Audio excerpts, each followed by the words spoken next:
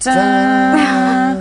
Welcome, Stephanie. Thank Lovely to see you here. Lovely to see you too. But unfortunately, you've left Neighbours now. I you? have, yeah. I, I left the set um, about two months ago now, so it was a really sad day, but um, I feel content. It's good. So it was a big decision to leave because you've been with them for how long? Four years, so Yes. it was a really hard decision to make. But I think I wanted to leave while I felt content with what you know, with the work that I'd done Sure. on the set, and um, I do. So I mean, I think she's been through enough. I don't need to do anymore. How far behind are we?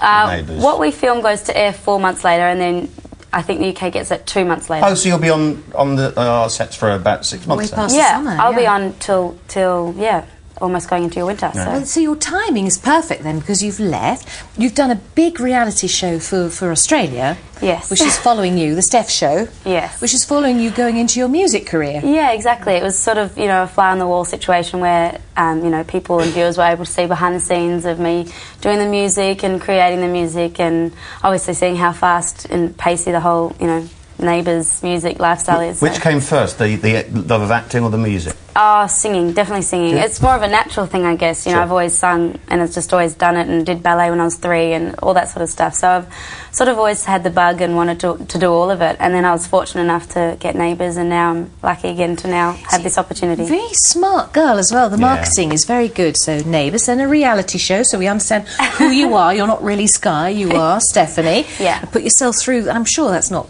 great fun, really, to be followed constantly by cameras. Not all the time. I mean, It's there a was good and bad situation. days. Exactly, yeah, it does become When business. those things happen, do you have any control? Can you actually say, could you go away now? It's a bad day.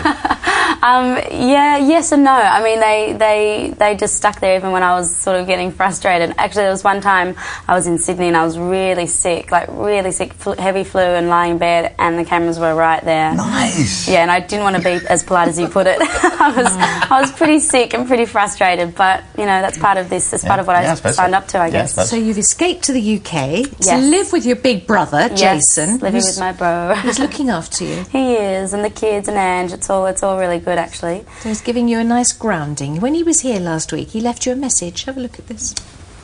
Ah, that was so sweet. Isn't it Actually, now I know what he was doing this morning when I left. He's like, "There's lots of surprises, you know," and I was like, "What are you talking about?" And that was That it. was one Shame of they're them. such a plain-looking family, isn't, Isn't it a pity? but they do sing nicely. Now let's just say That you're was going really to sweet. you're going to sing the new single for us, which Yes. is out on Monday. That's called Mistake, Yep. and that's at the end of the show. It comes from the new album, which is out in August, and that's called Tightrope.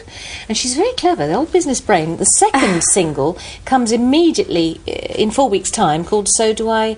So, do I, say, sorry, first? Yeah. But um, we'll have Mistake a bit later